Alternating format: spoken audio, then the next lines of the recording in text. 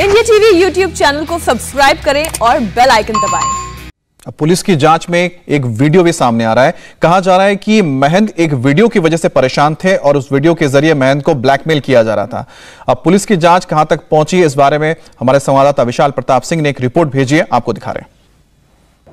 महंत नरेंद्र गिरी की मौत कैसे हुई, उसको लेकर के प्रयागराज पुलिस इन्वेस्टिगेशन आगे बढ़ा रही है। लेकिन इन्वेस्टिगेशन आगे बढ़ने के बावजूद, फ़िलहाल कोई कंक्रीट नतीजा पुलिस के पास नहीं पहुँच पाया है।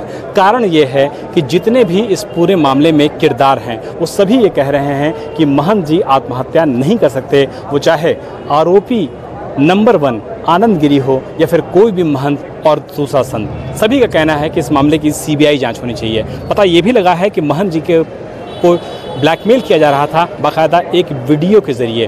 कौन सा ये वीडियो था? किसने ये वीडियो बनाया था? और इस वीडियो में आखिर क्या था? इस पूरे मामले को लेकर के जाँच की जा रही है इन्वेस्टिगेशन किया जा रहा है। आप देख सकते हैं कि पुलिस की बैरिकेटिंग यहाँ पे की गई है। पुलिस के लोगों को यहाँ पर तैनात किया गया है ताकि पुलिस की जो इन्वेस्टिगेशन हो रही है, वो निश्चित तौर पर आगे बढ़ती रही और लोग जो यहाँ पर आ रहे हैं, महन जी के दर्शन करने के लिए, अंतिम दर्शन करने के लिए, वो आसानी से दर्शन करके जा सकें। सवाल ये उठता है कि जिस वीडियो के बारे में चर्चा की जा रही है, महन जी चूँकि प्रभावशाली व्यक्तित्व थे, सभी को वो जानते थे, सभी के साथ उनके अच्छे संबंध थे, चाहे वो जिला प्रशासन की बात हो, पुलिस की बात हो, या फिर खुद मुख्यमंत्री योगी आदित्यनाथ। सवाल ये उठता है कि आखिर ऐसी कौन सी मजबूरी थी, ऐसा ऐसा कौन सा वीडियो था, जिसकी वजह से महन जी इस वीडियो के बारे में किसी से चर्चा नहीं कर रहे थे, जबकि बताया ये जा रहा है, पिछले एक हफ़्ते से वो परेशान चल रहे थे, लगातार परेशान चल रहे थे। तो ऐसे में इस वीडियो की भूमिका सबसे ज़्यादा महत्वपूर्ण हो जाती है, और जानकारी ये भी मिली है कि सोमवार शाम पाँच बज के बीस मिनट से एक से दो दिन पहले इस पूरे मामले में महन जी ने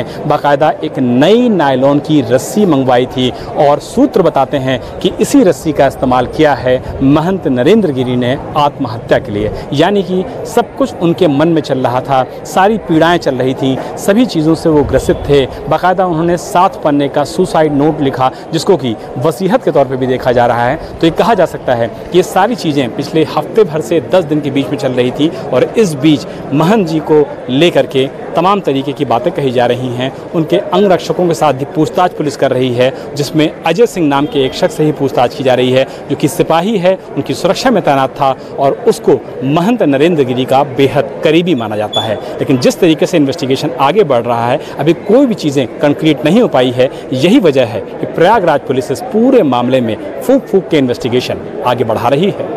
मकसूद आलम के साथ विशाल प्रताप सिंह इंडिया टीवी प्रयागराज।